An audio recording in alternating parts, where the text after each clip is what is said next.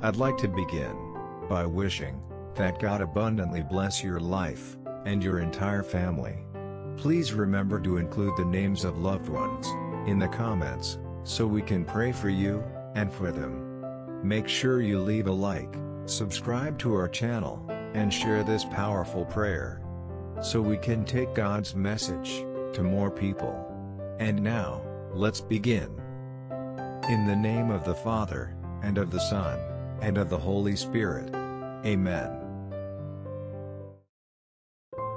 Dear Lord, thank you for providing me with all my needs. Holy Spirit, work on the motives that dwell in my heart and drive my decisions.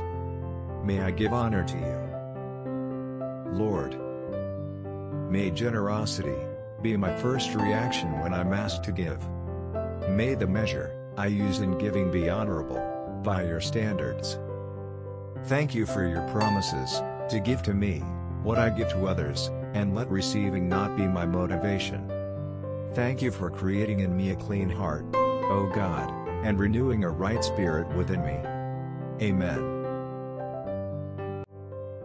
Thanks for watching our powerful prayer. Please remember to include in the comments the names of dear people, so we can pray for you and for them.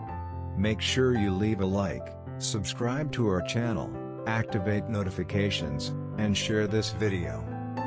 Once again thanks for watching our powerful prayer.